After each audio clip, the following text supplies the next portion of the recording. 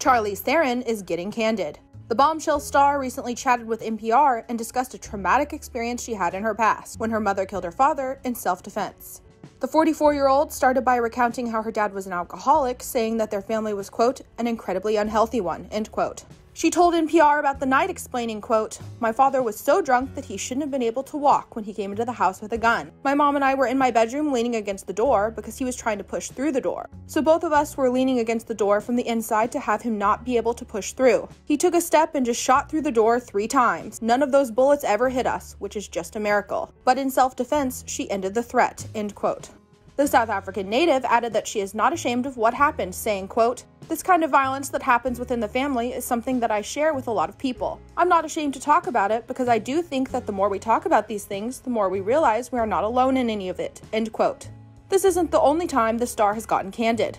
She previously spoke with Access Hollywood exclusively and revealed that she grapples with major self doubt. The fear for me is I still have this every single time I start a job. I'm going to get fired. They're going to find out I'm a terrible actor. Uh, this is going to be the one. This is going to be the job where they all find out that I'm just a total lie. This is so refreshing to all of us because we look at you and we're like, she's got it all. Oh, God, no.